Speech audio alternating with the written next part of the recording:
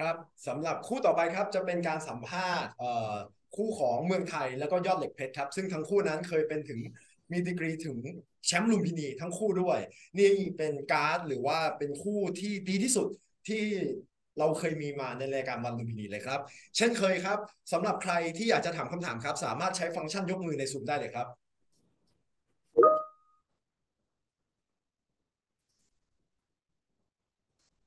Our first question is from Sanuk. This one is from Muang Thai. Do you feel like you can easily beat Yotlek Pek, or do you think he will be more motivated than ever to win? คำถามแรกนะครับ เป็นคำถามที่อยากจะถามทางด้านเมืองไทยครับผมคิดว่าเราจะเอาชนะยอดเหล็กเพชรได้แบบง่ายๆเลยไหมครับผมหรือคิดว่ายอดเหล็กเพชรเนี่ยเขาจะเตรียมตัวมาดีเพื่อที่จะเอาชนะเราให้ได้เหมือนกัน ก็ เอ่อเอาชนะยอดเล็กเพชรไฟล์นี้ผมก็คิดว่าไม่น่าง่ายครับ แต่ว่าก็จะพยายามเพราะว่าผมก็เตรียมตัวมาไฟล์นี้รู้สึกว่าร่างกายและอาจิตใจดีเป็นพิเศษครับผม He said that fighting with Yodlek Pet this time it's not going to be easy, but he is feel confident uh, both physically and mentally to fight with Yodlek Pet. Thank you, Frank. Our next question goes to MGR Online. This one's for Yotlek Pet. If you beat Muang Thai, who do you want to face next in one championship? คำถามนี้นะครับเป็นคำถามที่อยากจะถามยอดเหล็กเพชรครับ ถ้าในวันศุกร์นี้สามารถเอาชนะเมืองไทยได้ มีใครไหมครับ ในอนาคตที่เราอยากจะสู้เป็นคนต่อไปครับก็แล้วแต่ทางโปรโมเตอร์ดีกว่าครับผมยังไม่ 有没有一样覆盖呢個話？John uh, said that uh, it all depends to the promoter and one championship uh, who uh, they want uh, John to face. So he doesn't really think or put some thought into that yet. Got it. The next one is for Beam Report. The floor is yours.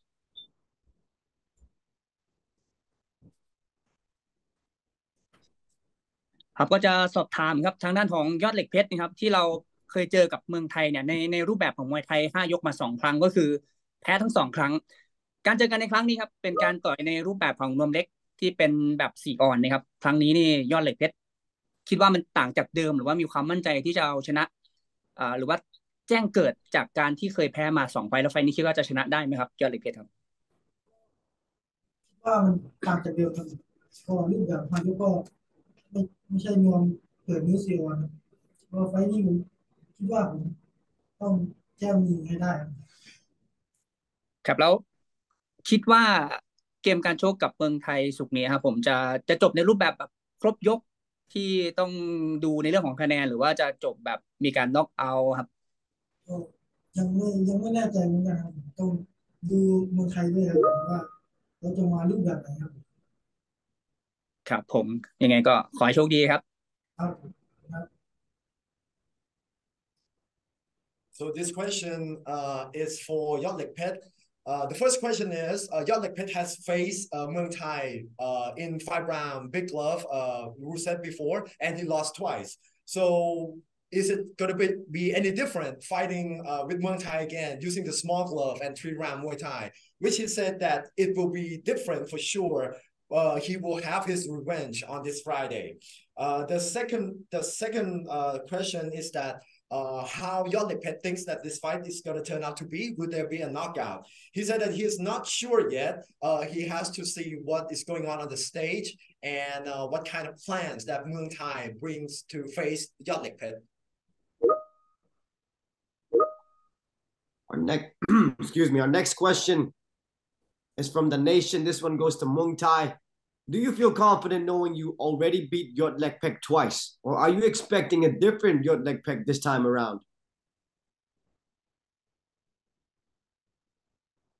คำถามนี้นะครับเป็นคำถามที่อยากจะถามเมืองไทยครับผมตัวเมืองไทยเองเนี่ยเคยเอาชนะยอดเหล็กเพชรมาแล้วถึงสองครั้งนะครับเอ่อคิดว่าในไฟท์ในครั้งนี้จะออกมาเป็นยังไงครับผมคิดว่ายอดเหล็กเพชรเนี่ยเขาจะเป็นนักสู้ที่เก่งกว่าเดิมที่เราเคยเจอหรือเปล่าครับ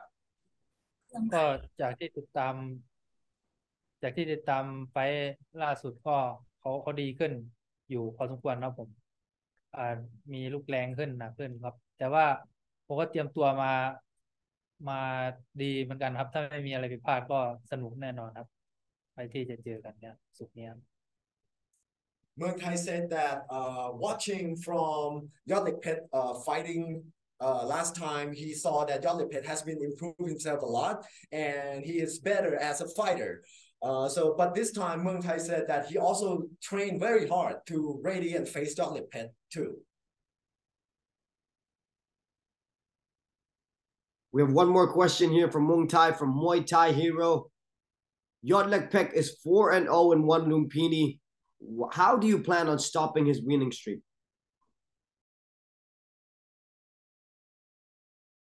เป็นคำถามที่อยากจะถามทางด้านเมืองไทยนะครับ ตัวยอดเหล็กเพชรเองเนี่ยครับผมเขามีสถิติชกในรายการวันลุมพินีของเราเนี่ย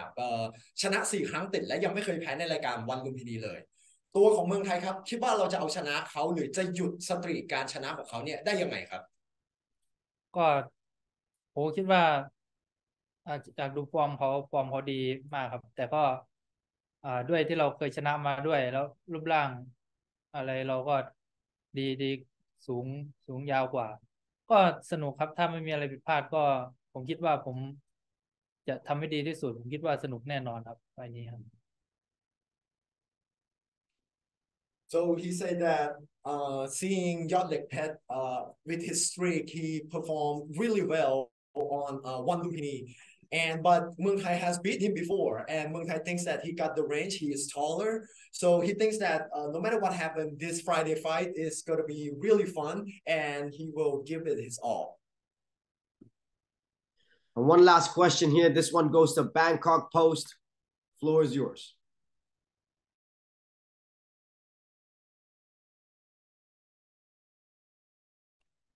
ฮัลโหล สวัสดีค่ะ จากบางกอกโพสต์นะคะเอ่อ จะสอบถามยอดเหล็กเพชรนะคะเอ่อหลังจากที่ได้เห็นเพื่อนร่วมอาชีพอย่างเสกสรรได้เซ็นสัญญาวันแชมเปี้ยนชิพไปแล้ว มองว่าถ้าเราเอ่อจะได้เปลี่ยนชีวิตอย่างเราออของเราอย่างเงี้ยค่ะ เหมือนว่าคิดว่าเราสมควรจะได้รับการเซ็นสัญญาไหมหากเอาชนะเมืองไทย ซึ่งเป็นนักกีฬาที่เคยต่อยวันเวทีใหญ่มาแล้วอะค่ะถ้าผมชนะก็ก็สมควรที่จะได้รับสัญญาก็ต้องชนะเสียๆครับ ก็จะได้ผมคิดว่าได้แน่นอนครับได้ค่ะ ขอบคุณค่ะ ขอให้โชคดีนะคะ So this question from Bangkok Post asking uh, Yodlek Pet that uh, seeing some of his friends like Seksan got the contract and really changed his life with the contract. Uh, do he, do Pet see himself uh, a chance to get this contract as well? Which uh, Yodlek Pet said that definitely, uh, if he perform well this Friday, he will. He thinks that he, he himself will get the contract.